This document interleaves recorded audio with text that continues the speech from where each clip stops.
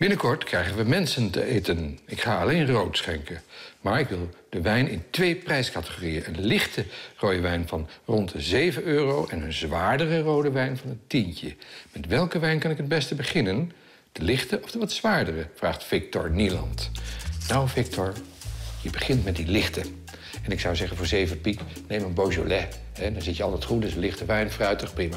Voor die zwaardere rode wijn, ik weet niet wie er komt... maar voor een tientje ga je dat niet redden. Dus dan moet je gewoon een mooie, volle Italiaan nemen. Geef gewoon 5 piek meer uit, jongen. 15 piek, dan heb je een perfecte ripasso voor een Valpolicella. Heerlijke rode wijn.